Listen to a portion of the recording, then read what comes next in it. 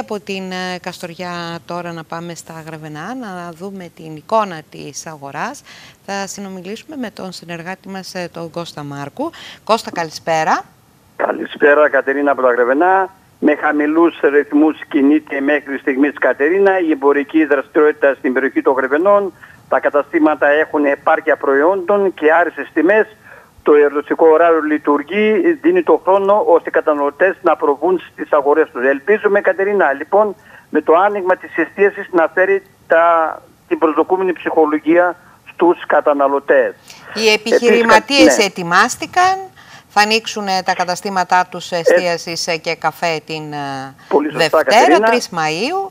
Έγινε και η ανάλογη προετοιμασία. Μας έλεγε χθες ο Αντιδήμαρχος, ο κύριος Τριγώνης, ότι όλα είναι έτοιμα και άλλωστε τα όμορφα γραβενά προσφέρονται για τους επισκέπτες που δεν θα μπορέσουν όμως να είναι από άλλο νομό, θα είναι μόνο από τα γραβενά, από την Περιφερειακή Ενότητα Γραβενών. Μάλιστα. Εδώ να πούμε Κατερίνα ότι στο φουλ οι παραγγελίες για αρνή και κατσίκι με τις τιμές να κυμαίνονται όπως είπαμε και χθες από 11-12 ευρώ ενώ αντιατική η Κατερίνα είναι η έλεγχη για ελληνοποιήσεις. Η ικανοποίηση Κατερίνα να πούμε επικρατεί στους κτηνοτρόφους για τις τιμές. Να τονίσουμε ότι 7 ευρώ είναι φέτος ε, η τιμή για τα σφάγια.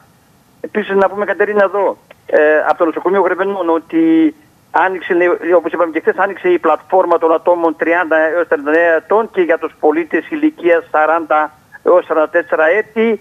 Ε, η ανταπόκριση είναι πάρα πολύ μεγάλη και τα ραντεβού πάρα πολλά. Σύμφωνα με την πρόεδρο του Σωματείου Εργαζομένων των Νοσοκομείων Γρυβινών, κυρία Τυρά, να τονίσουμε, Κατερίνα, ότι ανοίγει ακόμα, αυτή η σημερινή είναι ακόμα μία σημερινή, ε, μία ε, νέα εμβολιστική γραμμή. Σύνολο τέσσερα εμβολιστικά κέντρα θα έχουμε στο νομό Γρυβενών.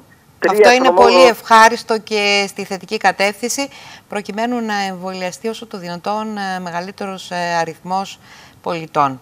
Έτσι, να πούμε λοιπόν ότι ο ΕΔΙ ανακοίνωσε 6 κρούσματα, ενώ 8 ασθενείς νοσηλεύονται στη μονάδα COVID του νοσοκομείου Γρεβενών, ενώ ε, έως τώρα, Κατερίνα, έχουν εμβολιαστεί 11.238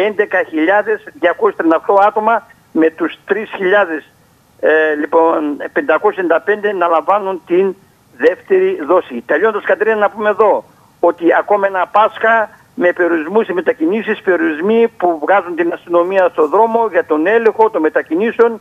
Η έλεγχη Κατερίνα είναι, είναι καθημερινή και εντατική με την τοπική αστυνομία να περιορίζεται στο 99% των περιπτώσεων σε συστάσεις. Και με αυτό είναι καλό, αυτό είναι καλό. Ας ναι, περιοριστούν στις συστάσεις. Ναι, και με ελάχιστες Κατερίνα περιπτώσεις επιβολής προσήμου. Κατερίνα. Σε ευχαριστούμε πολύ Κώστα, καλή Ανάσταση και χρόνια πολλά να ευχηθούμε. Καλή Ανάσταση, χρόνια πολλά για από τα γραβενά.